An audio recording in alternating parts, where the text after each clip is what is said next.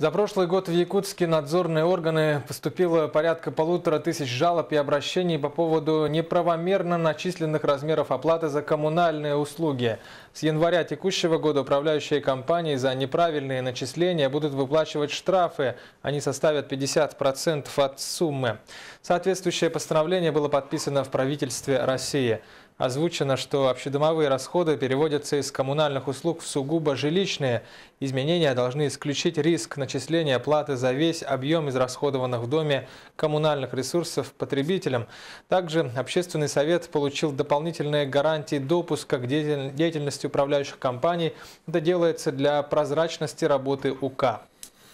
Это вот норма, которая сейчас введена, то есть в жилищные услуги перенесли э, расходы на общедомовые нужды, да, ограничили их, их размер нормативом, привели к тому, что э, управляющие приведут, ну, такой посыл приведут к тому, что управляющие организации будут озабочены, они же будут э, переплачивать и, естественно, будут бороться с незаконными подключениями, вот так, э, как-то каким-то образом влиять, э, менять э, ту особенность, которая сложилась